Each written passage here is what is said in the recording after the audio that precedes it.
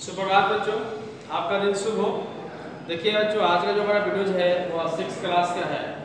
Six class का बारहवा अध्याय, जो कि अतीत से वर्तमान किताब का है। अध्याय का नाम है, नए साम्राज्य एवं राज्य तो नए साम्राज्य एवं राज्य में आज जो है हम लोग प्रश्न उत्तर के चलते हैं, प्रश्नों को देखते हैं, प्रश्न क्या कर रहा है। रहा हर्ष के बारे में हमें किन स्रोतों से जानकारी प्राप्त, जानकारी मिलती है। हर्ष के बारे में पाँच पंक्ति लिखी तो बच्चों, हर्ष जो था, उसके बारे में हमने लिखा है। हर्ष के बारे में हमें उसके राजकवि बाणभट्ट की कृति, हर्षचरित मधुबन बांसखेरा और संजान ताम्रपट लेख एवं की यात्रा वृत्तांत आदि से जानकारी मिलती है। वैन एक चीनी यात्री था, जिसने हर्ष के साम्राज्य का भ्रमण किया था।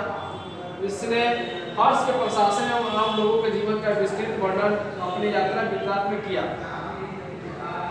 हर्ष को वेंसॉन ने बौद्ध धर्म का महान उपासक बताया, लेकिन वह शिव और सूर्य का भी उपासक था।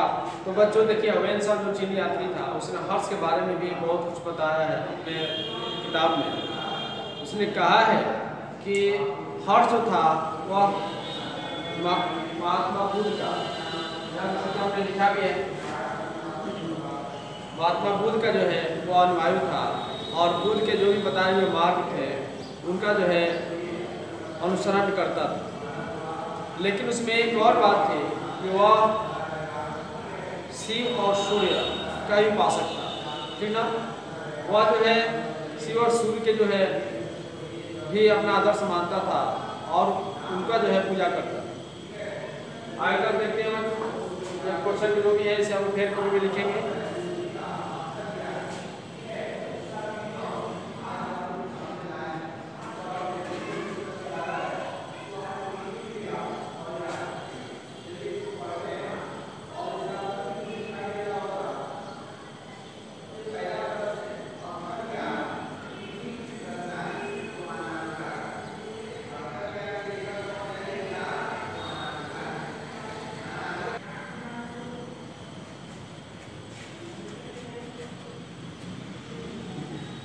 चलिए बच्चों, अगला जो प्रश्न है, इसको फोकस करते हैं। कह द्वितीय ने हर्ष क्यों पराजित किया, इसकी जानकारी हमें कैसे मिलती?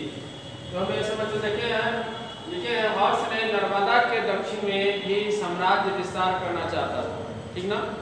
लेकिन चालुक्य वंश के शासक पुलकेशिन द्वितीय ने उसे पराजित किया और वह असफल हो गया। जिसकी जानकारी हमें राजकवि की कृति हर्षचरित मधुबन वास्केरा और संजान, ताम्रपट लेख एवं भानसिंह की यात्रा, वृत्तांत आदि से जानकारी मिलती है। ठीक है बच्चों तो आप लोग इसे फेयर कॉपी में लिखेंगे। लिखने के बाद इसे भली बात आप लोग को याद भी करना ठीक ना बच्चों? तो आज की वीडियो को इतना ही। जय हिंद, जय भारत।